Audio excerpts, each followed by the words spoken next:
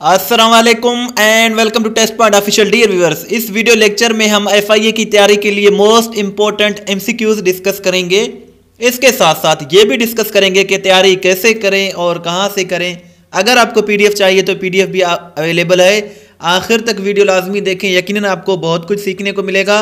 और जो first question है हमारा आज का वो है, world post day is observe on which date?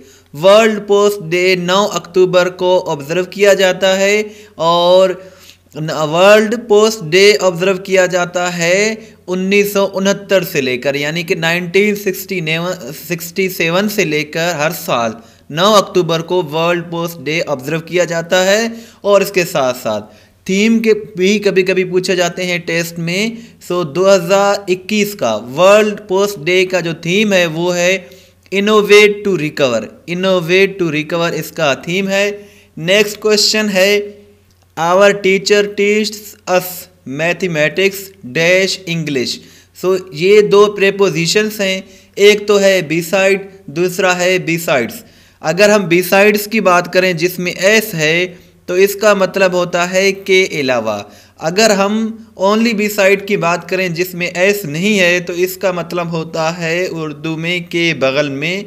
सो यहाँ जो करेक्ट आंसर होगा, वो बी साइड्स आएगा जिसमें एस है। यानी कि हमारे जो टीचर हैं, हमें मैथमेटिक्स पढ़ाते हैं इंग्लिश के अलावा मैथमेटिक्स भी पढ़ाते हैं। सो यहाँ जो करेक्ट आंसर है, वो है बी साइड्स नेक्स्ट क्वेश्चन है, Gautam Buddha. Was born in which country अगर हम गौतम बुद्धा की बात करें तो गौतम बुद्धा नेपाल में पैदा हुए थे। नेपाल का एक सिटी है लुम्बिनी। लुम्बिनी एक सिटी है, वहाँ गौतम बुद्धा पैदा हुए थे and he was the founder of Buddhism बुद्धमत मज़हब के ये बानी थे। और आगे बढ़ने से पहले छोटी सी रिक्वेस्ट है कि हमारे चैनल को ज़रूर सब्सक्राइब करें, इसमें आप ही का फ़ायदा है। बिकॉज़ इस तरह की अच्छी अच्छी वीडियोज़ हम डेली बेसिस पर बनाते रहते हैं।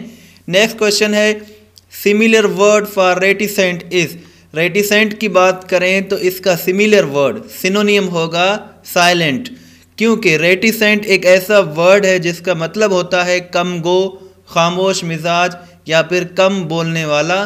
सो so, यहाँ साइलेंट इसका सिमिलर वर्ड है और इसका सेंटेंस भी आप बना सकते हैं. He is a reticent man तो यहाँ इसका मतलब है कि वो वो शख्स है जो कम बोलता है, खामोश मिजाज है।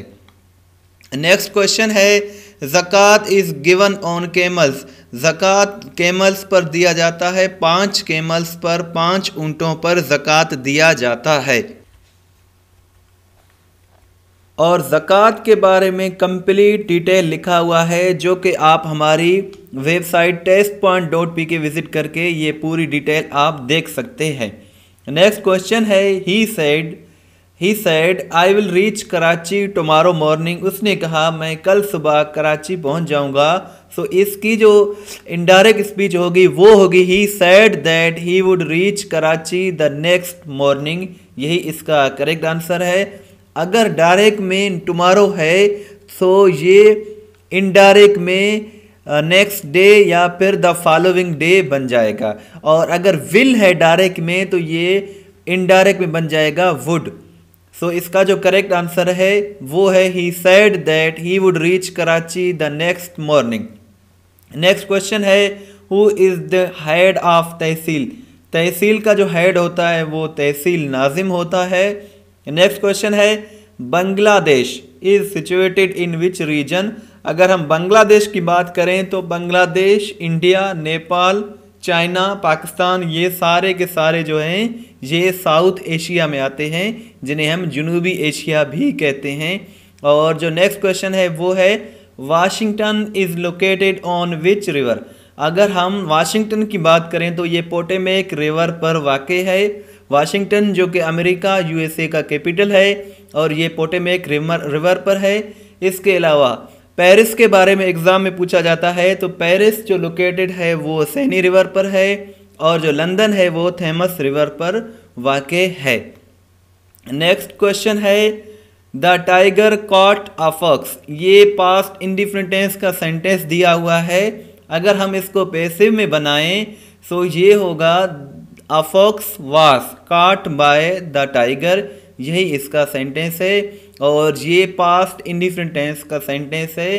पास्ट इंडिफरेंट टेंस वो टेंस है, वो सेंटेंस है जिनमें second form of verb use किए जाते हैं। दूसरे किसी भी टेंस में second form of verb use नहीं किया जाता। Which country has the largest number of volcanoes in the world Indonesia में सबसे ज़्यादा वोल्केनोज पाए जाते हैं और कहा जाता है कि 130 से भी ज़ायद वोल्केनोज हैं इंडोनेशिया में। अगर हम इंडोनेशिया की बात करें तो जकार्ता इसका कैपिटल है और दुनिया का चौथा बड़ा कंट्री है पापुलेशन के हवाले से और मुस, मुस्लिम अगर पापुलेशन की बात करें तो मुसलमानों के जितने भी कंट्रीज़ हैं 57 में सबसे ज़्यादा आबादी सबसे ज़्यादा पापुलेशन इंडोनेशिया की है। सबसे बड़ा जो कंट्री है दुनिया में वो चाइना है। दूसरे नंबर पर इंडिया है। तीसरे नंबर पर यूएसए और चौथे नंबर पर इंडोनेशिया है। पॉपुलेशन के हवाले से बड़ा कंट्री और पाँचवें नंबर पर पाकिस्तान है। सो so, ये सारी इंफॉर्मेशन इंपॉर्टेंट है आपकी टेस्ट के लिए। The first Nobel prize was awarded in the year Nobel prize जिसे दुनिया का सबसे बड़ा प्राइज़ समझा जाता है इसे 1901 में पहली मर्तबा दिया गया था। और याद रखें कि 10 दिसंबर को हर साल 10 दिसंबर को, अब भी हर साल 10 दिसंबर को नोबेल प्राइज़ दिया जाता है। और ये दो मुल्कों में दिया जाता है। दो मुल्कों में एक तो है स्वीडन और दूसरा है नॉर्वे। और ये छो छः शोबों में दिया जाता है। सो, और जो पहला दिया गया था, वो दिया गया था 1901 में 10 दिसंबर 1901 में। नेक्स्ट क्वेश्चन है हमारा अंडर इंडस वाटर ट्रीटरी यानी कि इंडस वाटर ट्रीटी जिसे हम सिंतास माहा भी कहते हैं which of the following rivers were given to Pakistan so Indus Jhelum and Chenab ये सारे पाकिस्तान के हिस्से में आ गए थे और इंडस वाटर टेरिटरी को साइन किया गया था 19 सितंबर 1960 को। और इस पर जो सिग्नेचर किए थे, पाकिस्तानी प्राइम मिनिस्टर जो थे, पाकिस्तान के जो प्रेसिडेंट थे अजूब खान और प्राइम मिनिस्टर थे इंडिया के जवाहरलाल नेहरू। इन्होंने ये सिग्नेचर किया था। डियर व्यूवर्स पूरी वीडियो देखने के बाद नीचे दिए गए लिंक पर क्लिक करके अपना टेस्ट लें ताकि आपको मालूम हो जाए कि कितने सवाल आपको याद हो गए हैं। Which area of Pakistan has the biggest deposit of copper so सबसे ज़्यादा चागी में कॉपर तांबा पाया जाता है और चागी जो है ये एक टाउन है बलूचिस्तान में।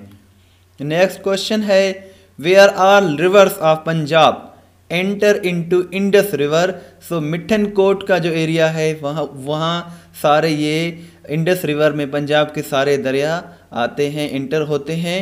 और जो नेक्स्ट क्वेश्चन है longest tunnel of Pakistan Pakistan का सबसे बड़ा जो टनल है, वो खोजक टनल है और ये खोजक टनल कनेक्ट करता है, मिलाता है किला अब्दुल्ला को किला। किला अब्दुल्ला को चमन से मिलाता है और ये बलूचिस्तान में है। और इसको कंस्ट्रक्ट किया गया था, तामीर इसकी की गई थी अठारह सौ इक्यानवे में। SEATO is in is an abbreviation of अगर हम सीटो की बात करें तो ये है south east Asia treaty organisation या फिर south east Asian treaty organisation ये एक ऑर्गेनाइजेशन था, and it was founded on 8th September 1954 and dissolved on 30th June 1977 तीस जून 1977 को ये ख़त्म हो गया था, लेकिन इसे फाउंड किया गया था बनाया गया था ती आठ सितंबर उन्नीस को। Ghulam Mohammad barrage was constructed on which river so Ghulam Mohammad barrage Indus river पर इसे कायम किया गया था and it is also known as Kotri barrage इसे कोटरी बेराज भी कहा जाता है inaugurated by third governor general of Pakistan Malik Ghulam Mohammad Malik ने इसे इनोग्रेट किया था इसको इस, इसकी इफ्तः की थी। Toot oil field is located in so जितने भी ऑप्शन दिए गए थे, उनमें करेक्ट जो ऑप्शन है, वो है पंजाब टूथ आयल फ़ील्ड ये डिस्कवर हुए थे पाकिस्तान में 1961 में। और इनकी जो कमर्शियल सप्लाई स्टार्ट हुई थी, वो थी, वो हुई थी 1967 में। और जो नेक्स्ट क्वेश्चन है, the Mangla dam was completed in the year Mangla dam 1967 में कंप्लीट हुआ था। और इन्हें रिवर जहलम पर इसे कायम किया गया था, इसे कंस्ट्रक्ट किया गया था। और इसका जो स्टार्टिंग का काम वो 1961 में स्टार्ट हुआ था बट इसका काम कंप्लीट हुआ था 1967 में। The word that is use in state of a noun is called वो वर्ड जो नाउन की जगह यूज़ हो तो उसे हम प्रोनाउन कहते हैं, इसमें ज़मीर उसे कहते हैं, और pronoun is a word which is use in place of a noun noun की जगह जो यूज़ हो, उसे हम प्रोनाउन कहते हैं। What is the most appropriate synonym of inferior inferior की अगर हम बात करें तो इन्फेरियर का मतलब होता है इन्फेरियर का मतलब होता है कमतर, निचले दर्जे वाला, और लोअर भी निचले दर्जे का मतलब होता है जो है कमतर, जो छोटे लेवल का हो, जो नीचे हो, उसे हम लोअर कहते हैं और इन्फेरियर भी कहते हैं, और इसका जो करेक्ट आंसर है, वो है lower lower is the synonym of inferior what is the most appropriate synonym of loyal loyal की अगर हम बात करें तो लॉयल का सिनोनियम फैथफुल है और लॉयल का मतलब होता है उर्दू में वफ़ादार, बावफा शख्स जो वफ़ा करे और फैथफुल का भी मतलब होता है वफ़ादार। यही इसका करेक्ट आंसर है। डियर व्यूवर्स अगर आपको ये वीडियो अच्छी लगी है तो इसे शेयर ज़रूर करें, हमारे चैनल को भी सब्सक्राइब करें। इसके साथ साथ अगर आपको पीडीएफ चाहिए तो पीडीएफ भी अवेलेबल है, जिसे आप डाउनलोड कर सकते हैं बगैर किसी पासवर्ड के। और अगर आप किसी भी टेस्ट की तैयारी कर रहे हैं, चाहे वो एफआईए का टेस्ट हो या फिर किसी भी टेस्ट हो तो टेस्ट पॉइंट डॉट पी के बहुत ही अच्छी वेबसाइट है। आप इसे ज़रूर विज़िट करें, यहाँ आपको बहुत कुछ सीखने को मिलेगा। Your feedback suggestion and comments are always welcome thanks for watching and अल्लाह हाफिज़